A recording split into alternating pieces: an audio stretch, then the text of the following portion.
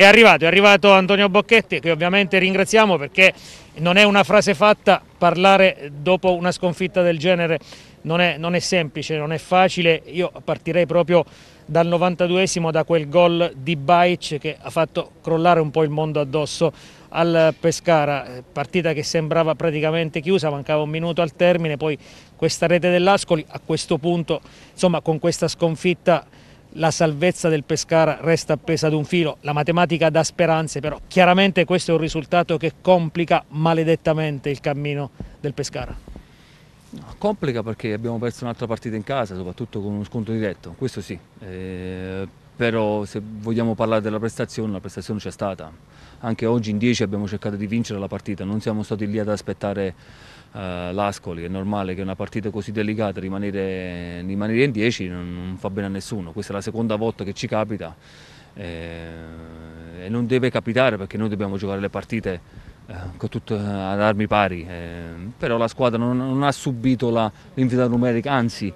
se vediamo le occasioni alla fine con Macin e con, con Seter potevamo veramente vincere la partita, sarebbe stato un altro, uh, sicuramente un'altra un cosa. L'abbiamo persa al 93esimo e questo è un peccato perché negli ultimi minuti dobbiamo cercare di, di tenere palla e, e, e marcare più uh, in area di rigore. Abbiamo sbagliato la marcatura e ci hanno punito.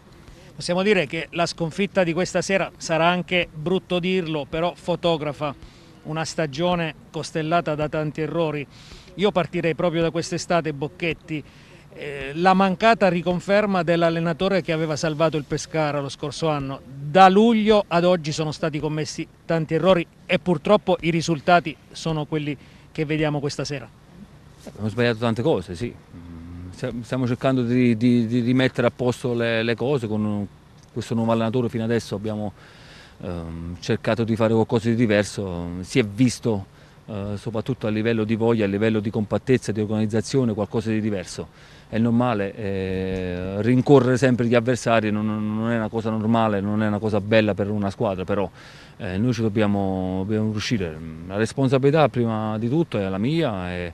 e poi a catena degli altri, ma mm, siamo qui apposta per metterci la faccia perché noi i primi che hanno fatto uh, errori siamo stati noi. E, quindi è inutile, è inutile girarci intorno. Dobbiamo cercare solo di riparare la situazione, la stiamo cercando di riparare con un allenatore che ha portato delle idee nuove, fino adesso mm, penso che comunque si sia apprezzato qualcosa di diverso, eh, questo non basta perché, perché, facciamo ancora degli errori che, eh, che dobbiamo assolutamente evitare per cercare di centrare la salvezza. Pescara anche questa sera Bocchetti tradito un po' dai giocatori più esperti, era successo anche eh, due partite fa,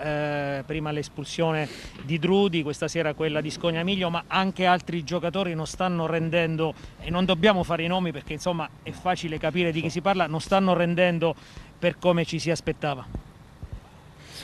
può essere pure una conseguenza del, del, del, detto, del, rincorrere questa classifica, è normale che gli errori, se siamo penultimi in classifica c'è sempre un perché, eh, commettiamo degli errori importanti, soprattutto eh,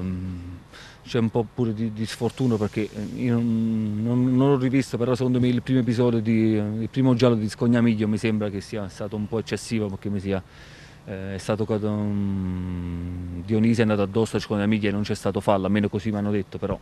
uh, il secondo penso che sia stato giusto, lo stesso quello di Drudi, uh, la prima munizione è troppo, troppo facile, la seconda onestamente ci poteva essere tranquillamente, ma dobbiamo essere calmi perché, uh, perché c'era tempo e modo per riuscire a far male all'Ascoli. E,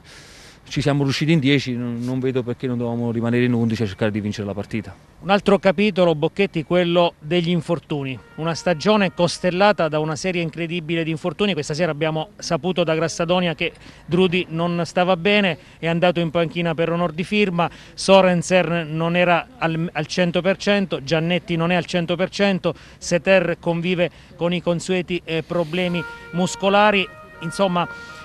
perché tutti questi contrattempi fisici, perché tutti questi problemi? Eh, io penso che comunque in un'annata così, eh, dopo il Covid e dopo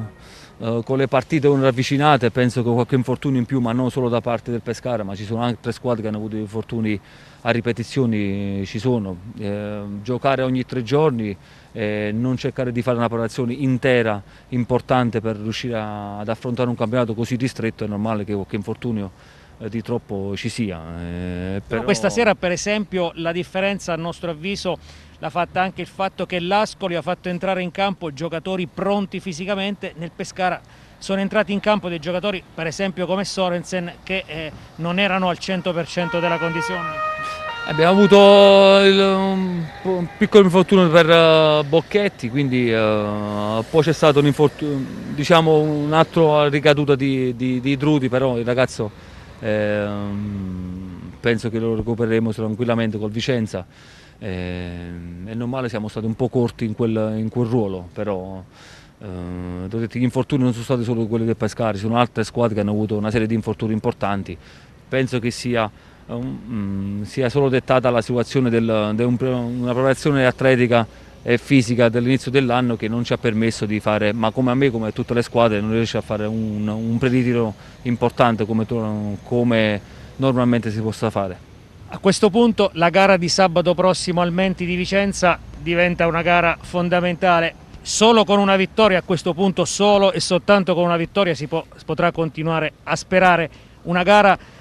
90 minuti che decideranno un campionato, poi tra l'altro ci sarà la sosta, se si riuscirà a vincere a Vicenza si potrà continuare a sperare, altrimenti probabilmente il campionato del Pescara rischia di finire in Veneto. Non esiste proprio, il campionato del Pescara finisce quando c'è la matematica che ci condanna,